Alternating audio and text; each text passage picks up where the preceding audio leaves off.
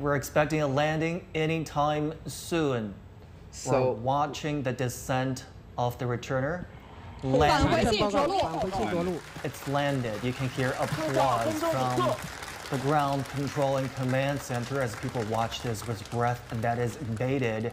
Soil from the far side of the moon now brought back to Earth in that return vehicle. We have a pretty good visual of the landing site now.